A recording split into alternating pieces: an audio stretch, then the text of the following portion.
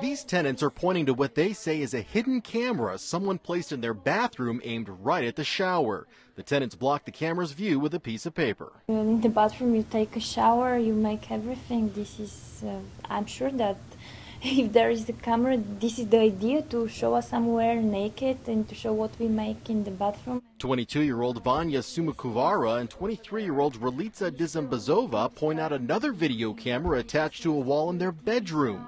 The cables run down to the floor underneath the carpet. The tenants are from Bulgaria and say they've been living in the Tampa apartment for about two months. This is terrible. I, I never expect that this thing will happen to me or to my friend. We just came here to spend one summer in United States to work here. The tenants say there's hidden cameras inside every bedroom of this apartment, and some of them look like smoke detectors. But a quick check of the serial number inside reveals this is a camera. The tenants say they followed the camera's cables to a locked up closet. They broke the lock off and say they found that the cameras were feeding into a closed circuit TV box that was connected to a Wi Fi router.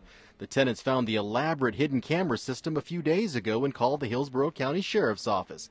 Detectives confirm they're investigating a video voyeur case. I'm feeling very bad and but I'm sure that if uh, the right people knows for this, they have to make something to this to not don't, to not happen for the other girls and uh, the other people from different countries who comes here. I just want to know what happened with our videos. I want to know the whole story because now I don't know. And they want the person who's been secretly watching them to be punished. In Hillsborough County, Josh Rojas, Bay News 9.